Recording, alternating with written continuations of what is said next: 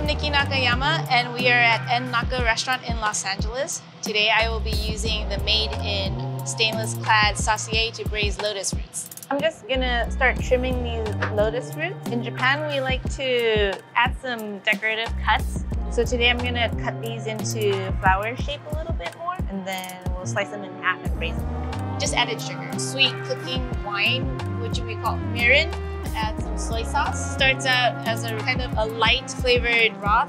I like using this saucier for making this dish because it gives the lotus roots just enough space to breathe, but also because it keeps and protects the temperature.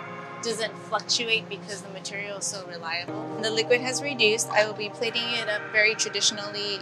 It's a simple way to enjoy lotus root. In Japan, we would just enjoy this with a bowl of rice.